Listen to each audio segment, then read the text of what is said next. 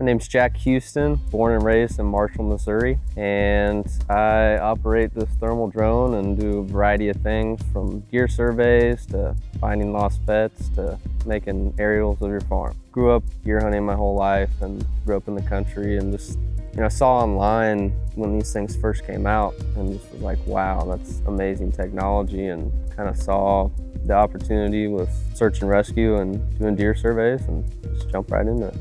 So primarily serving more on the deer side, doing those deer surveys and also looking for deer after people have shot them and can't find them. That's service only during hunting season. I'd say from Halloween to about November 15th, it's, it's very busy. I do almost all my business in those 15 days.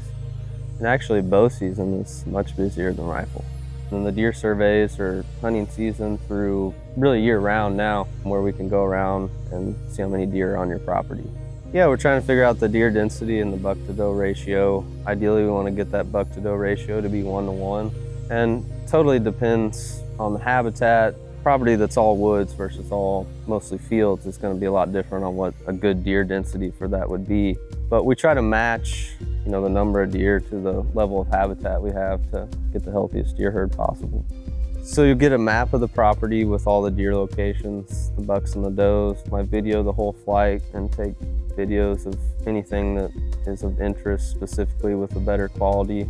So whole flight's recorded and then if we find something cool, we really make a good video of that. I write a couple page report on how I think you should move forward with some property management, habitat wise, and then also on the deer herd side of things, how to optimize that.